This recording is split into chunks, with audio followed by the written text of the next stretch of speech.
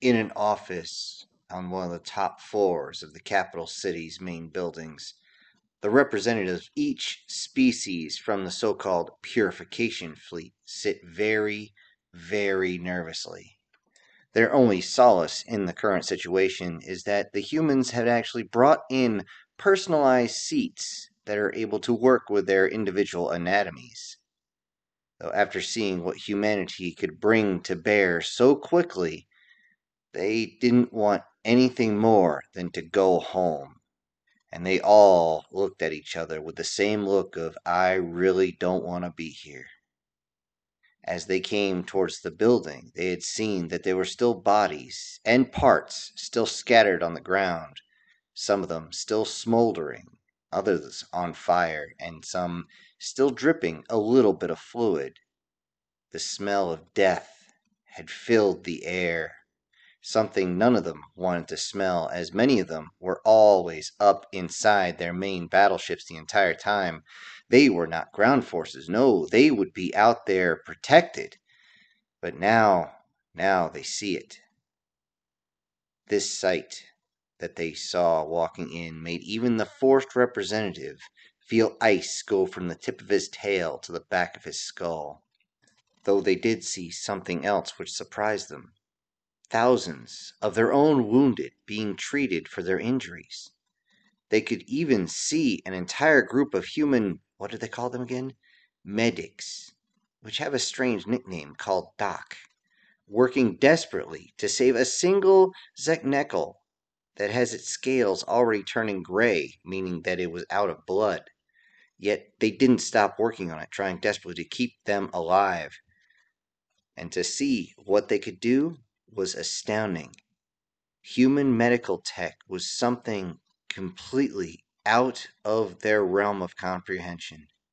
They were using seemingly small devices that they could bring out, something as small as their own hands, and they would simply bring it over, seeing just a little bit of light coming out of it. They didn't know if the light was there to help or if it was there specifically to guide the stream of whatever they were doing. Yet they saw massive and deep wounds that were simply sealed in seconds. It was amazing to see this. It was unearthly, ungodly. Were the humans even biological? To those on the ground being treated, the humans that came to help them seemed to be the right hand of the Creator as they saved so many. The truly scary part was what happened to their fallen. On their way to the surface, they could see thousands of their own fallen taken into certain buildings and into several human ships that had landed, all of which had this strange marking on them. It's strange. It was a bright red, too. They didn't know what it meant, but they would find out very quickly. The Nashani commander was contacted by one of her own. When she received a signal, she pulled up her own version of a datapad and was absolutely astounded at what she saw. There was her brother. The, the one that she had heard was killed in combat.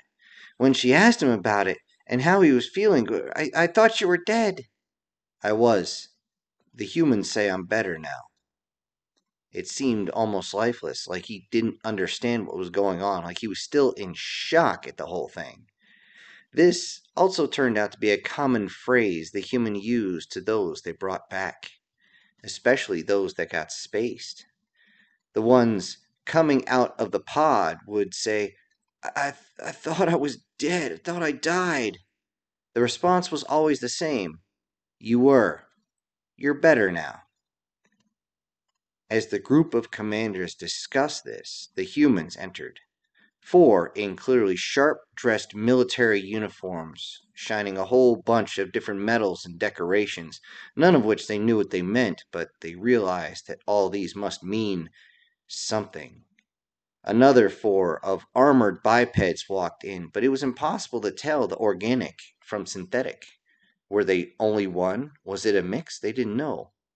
Along with that, Larry, Vince, and Cindy were also present, although it looked as though they were a bit out of breath, as though they ran into the conference room trying to make it in time.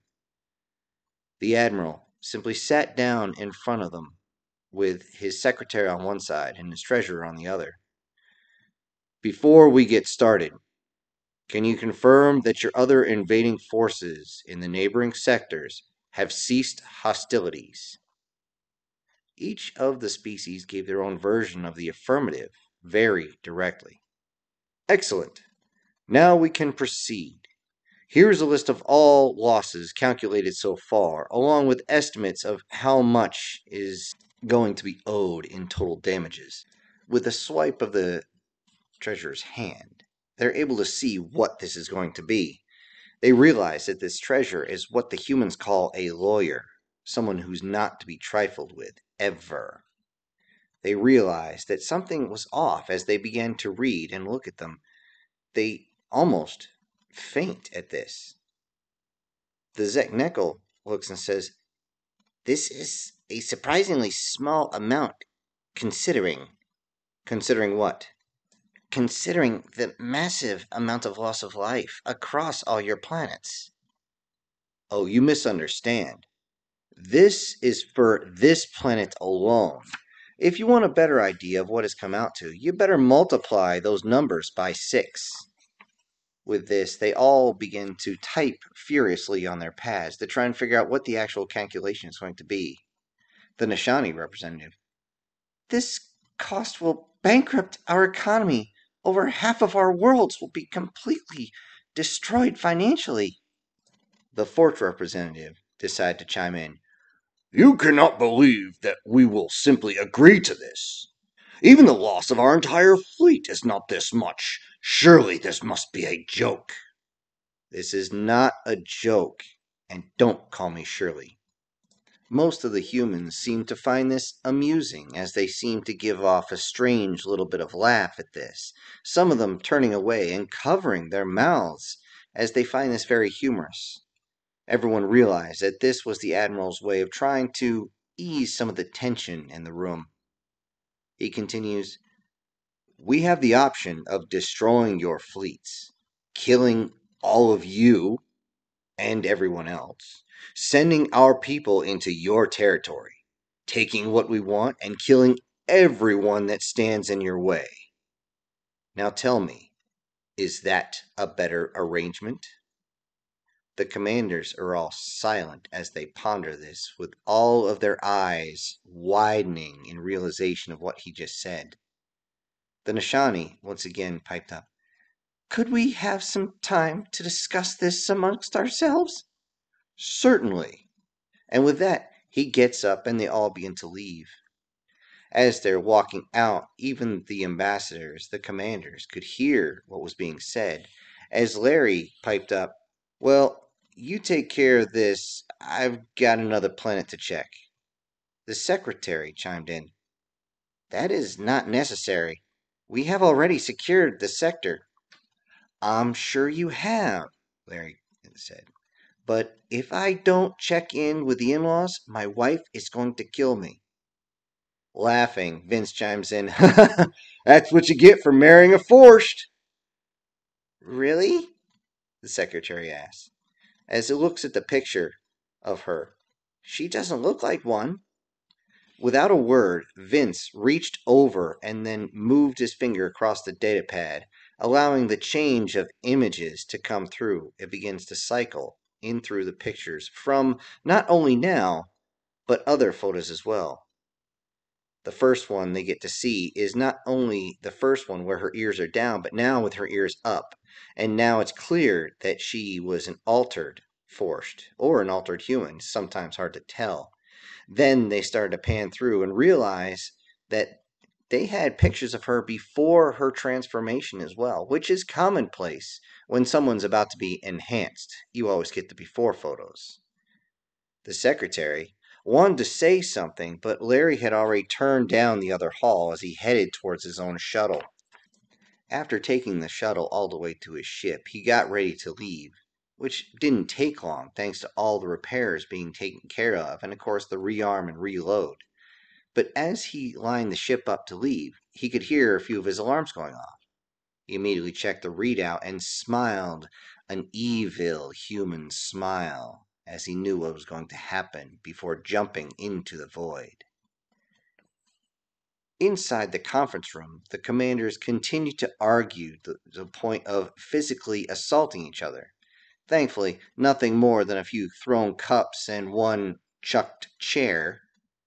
As they continue to argue, though, humans simply barge in and place a projector on the table. They don't know what's going on, but it definitely has their attention. A few moments later, an image is projected above them, a 3D image that showed another fleet of enemy ships coming in. The commanders immediately start to explain that they had the purification fleet. And once it faded, once it stopped transmitting, the extermination fleet would be deployed. If they didn't need to, they were just going to stay within their own borders. As it turned out, the approaching force had a plan B as well. The difference is the purification fleet was more for invading a planet and just either taking or killing off those that had been altered. It was not meant for major ship to ship combat, even though they were able to do so. This new fleet, though, had nothing as far as invasion went. They had no deployment craft at all. Their job was to find any planet that was able to face off against them and end said planet, regardless of what would happen with the humans. They believed that if they put all their major battleships together, bringing all their biggest, baddest, meanest motherfuckers together, that even the humans wouldn't be able to stop them, and they'd be able to just simply slag an entire planet and drive on to the next one. Humans be damned. This was their orders. Which is why, when they were told to call off these ships, the commanders couldn't they had no chance. They didn't even know what communication frequency the extermination fleet was on. They weren't able to respond. In fact, the extermination fleet was told specifically turn the communications off. Unless it's some sort of emergency recovery beacon where they needed emergency support, then they were not going to communicate with anyone. They're just going to fight. Everyone could see this on the holographic display as weapons were being aimed and prepared to fire. Human ships didn't need to be told anything as they already began moving into position to protect themselves and the planet. The extermination fleet outnumbers them almost 30 to 1. Even though they had more advanced technology, the ships they were facing were just covered in guns, and everyone knows you can still die if you try hard enough. And even at 30 to 1, many of the human commanders, to include the admiral who was still on the surface, said 30 to 1 sounds like an even fight to me. Which was mostly bravado. He knew that things would get ugly really, really fast. All of a sudden, they heard another group of signals coming in. Many on both sides just basically cursed under their breath, wondering what the hell was happening this time. But this time, it was the 7th Fleet had arrived in the system. Unfortunately, they couldn't get any closer thanks to all the magnetic interference. The gravimetric engines will only allow them to do so much so fast, or else you're going to start trying to break the fabric of reality, and let's just say that's a bad idea because they were well out of range, they tried to go full burn, and they were on the enemy fleet's 300 degrees level and just simply ran in. The main point, which showed that they had no chance of stopping this battle, is the fact that even seeing two separate human fleets, the extermination fleet didn't slow down, didn't change direction, it just continued. As they watched, they could see drones being launched from the human ships and space fighters already being deployed from the extermination fleet. The space battle begins, and for a moment, the skies burn as energy weapons begin to rip across the void. They're only several light seconds apart, but it's enough for some of the smaller ships to get the hell out of the way. The first volley is always the worst, as not only energy weapons, but ballistic weapons are fired from both sides. The human ships were not fully formed in formation just yet as the shots begin to fire. Most of the hulks were able to take glancing blows, thankfully, because of the way the ships are designed. the enemy fleet's main battleship took the main portion of their barrage.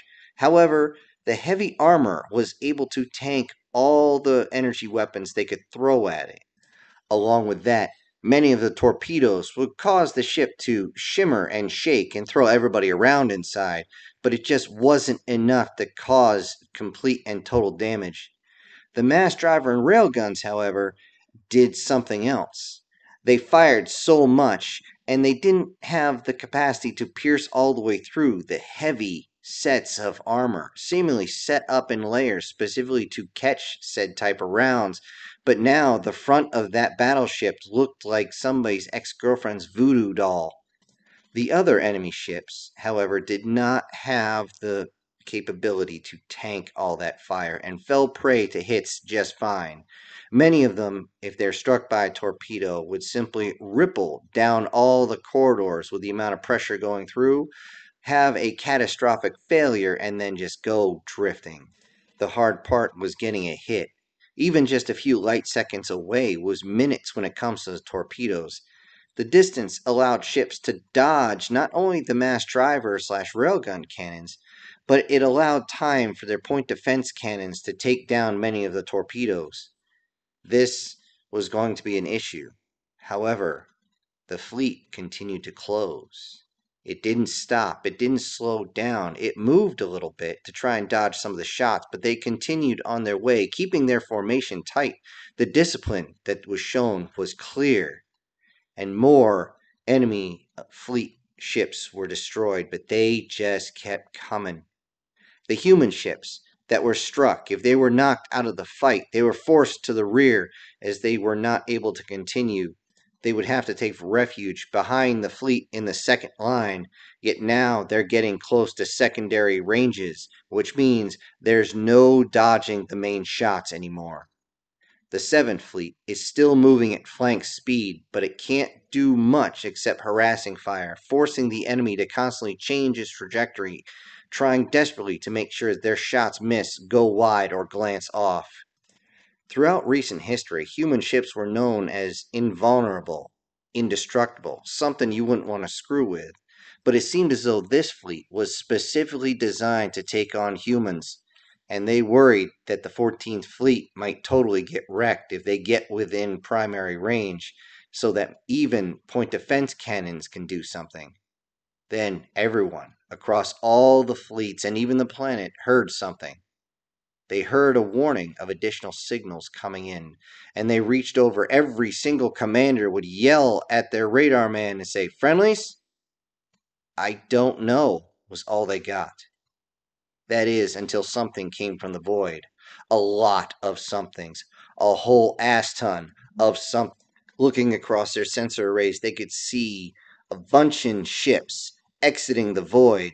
They're so close, they're within tertiary range of the enemy fleet, which is considered almost point blank range at this point they jumped in almost on the posterior of the enemy ships, lying themselves at 121 degrees plus 33 at 51 kilometers. They're almost on each other. As they pour fire into the enemy fleet, a communication comes in from the Vuntian admiral. You didn't tell us you were having a party? With this, everyone realized this was Vuntian humor. Kind of funny, I guess, but not exactly what they were expecting under withering fire, the enemy fleet realized that they were not only now outgunned but completely flanked, and as their formation crumbled, the enemy fleet did something they weren't expecting. They surrendered. Their main dreadnought battleship, now just covered in spikes that are semi penetrated through the hull and simply adrift, their main weapon system completely destroyed. Many of the other battleships completely out of the fight as well, they realized that this was a losing gambit and they didn't want to see their own people destroyed. The 7th Fleet, with the assistance of the Vuntian and many of the medical frigates from the 14th Fleet, secured the enemy attack group. As the remainder of the 14th Fleet returns to guarding the planet, deploying all their recovery drones to make sure they can get all their ships back up, they made sure that they turned off the lock. As it turned out, the entire time that they were fighting, they never removed the weapons lock off the previous surrendered ships. This was just so those that were near the planet would be reminded the entire time to don't do anything stupid. Now that the lock was removed, they could finally unclench and take a breather. Inside the conference room, the commanders were silent. They couldn't believe what they had just seen. Everything, their last ace in the hole, was now gone. What the hell were they going to do? As the treasurer looked over and started reaching for the pad, suddenly the pad was reached for and pulled away and signed by as many as possible before the human had a chance to even touch it. They wanted to do this because each of them were wise. They realized that if they didn't sign it right now, they would be on the hook for all the ships that they had just damaged. They didn't want to have to pay for that too. And with this, a transmission was sent to all the other species governments. The message was simple, along with all the data files needed to secure this. The message was The war is over they all began to look to see what had happened. The humans were worried about their completely non recoverable losses. Ships can be rebuilt and recovered, things of that nature. Non recoverable losses are those that could not be returned after being shot up, dismembered, or in other way, shape damaged. Across all the fleets, there was 16 which was not a huge number by anyone's standards. However, it was enough to make the fleet pause. These would be the first losses they had had in hundreds of years, outside their own systems, of course. And those non recoverable on all the planets was one. Thankfully, it was only one on Sigma 957. Unfortunately, when the orbital strike to keep the humans back happened, he was right in the line of fire. There wasn't even enough for a burial. He was completely evaporated. Larry received the news as he was heading down towards the planet to go deal with the in laws to make sure everything was actually okay and they weren't just saying, everything's fine over the comms. The planet itself looked like shit. Much of the foliage had been damaged by fire as the metal rain had fallen everywhere, just like on his own planet. The difference was on this planet, there is a lot of trees and there's a lot more burnable material. You can set grass afire, but if it's not during the harvest season, it's not dry enough to keep going. On this planet, however, well, once you get the trees burning, like, oh, I don't know, maybe a reactor engine exploding, then yeah, you're just going to have wildfires that go for tens of thousands of hectares and just don't stop until they burn themselves out. There are very large swaths that are just completely burned out black zones that can even be seen from space. Moving in, he landed right next to the in law's compound. They both saw the ship come down and ran out to meet him. The grandmother immediately asked, Did you bring the kids? and the grandfather was glad that Larry did not. Of course, Larry wanted to know why, and the grandfather brought him towards the forest. As it turns out, the smell of war still permeated. He ended up having to actually fight hand to hand, but he had a few other surprises. He'd watched enough of the human movies that maybe, just maybe, he might have picked up a few things. Larry could see that the ambush defenses that his father in law had set up were definitely set up very similar to what he recommended, although obvious modifications were made. He figured this because Force really don't like using explosives. They prefer blades and bullets than anything else. Yet he saw parts up in the trees, parts that were still fresh, as the local fauna had not gone in and actually started to chew it up yet. Larry asked him, How'd he do that? As they stood in one of the locations that was looked like it was set up for a final stand. His father in law looks at him and says, Pull the handle. Where? In the fucking leaves. Where else? He walked over, grabbed a handle, looked at him, nodded, and his grandfather just nodded back. He pulled the handle, and an entire low lying ridgeline exploded in sequence, one right after another. And with that, you could see not only debris from trees, but other body parts that landed close, ended up flying all over the place. Since he was standing, the concussion caused Larry to fall flat on his back, and he rolled over, wondering what the hell just happened as many pieces of debris fell all over him.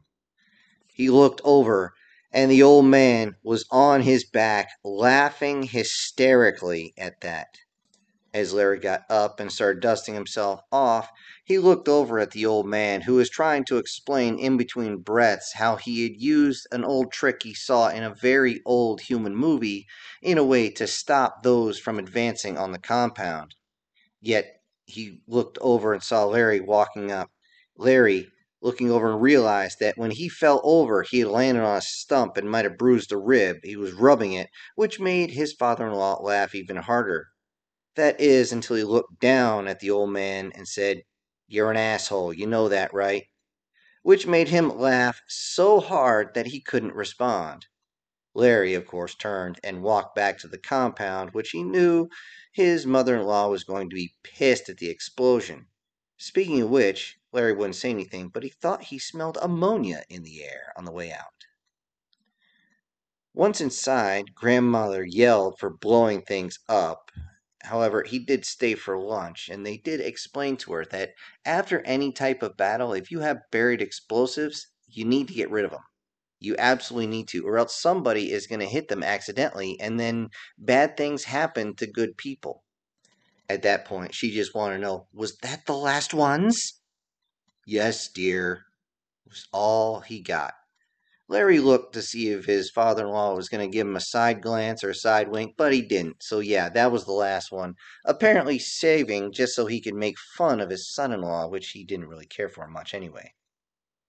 After a meal and a little more conversation, Larry had to take off as he wanted to get home as every warrior wants. He just wanted to go home. Reaching Sigma 957, he could see recovery ops continuing. He called out across the comms to see if they needed any help, but he was told that they got this, so he didn't even pause. He headed back to the holding area for his ship, allowed the cloak to take care of itself, and he headed back to the planet in his own shuttle. As he arrived in town, he could see that thanks to the AI and everybody's help, they were almost done with the repairs. It was crazy. He checked on the kids on the way because, well, it was on the way. He would have to make these a very, very short visit as he wanted to get back to see his kids, his youngest ones, and his wife as soon as possible. When he arrived at the house, he barely got the door open as the twins jumped up into his arms, knocking him back down on his ass. By the time he got to his feet, his wife came out almost in tears. This would be the first time she saw him since the battle ended, even though she had got communications from him to let him know that he was okay. She still wanted to see him in person. And there's nothing like holding on to your mate after the battle to make sure they're okay. Altogether, they headed inside as a family should. The victory celebration was a party for the ages across several different territories and several different species. The peace treaty had been signed, and everybody just wanted to relax and say, okay, we don't have to kill anybody anymore. This is cool. Greknar finally admits that humans are more than just ambush predators. You guys are just good. How do you know all this stuff? I know I've seen some of your history, but I figured you'd forget this stuff over time. Oh, no, it's not a good idea to forget. Trust me, you forget and you end up making the same mistakes over and over again. It's just the way it is. She understood this, but then again, at that point, she was already a few drinks in, and with that mead that Larry makes, it's not going to take her long to get plastered. As she was sitting there drunk, both he and her watched the kids play.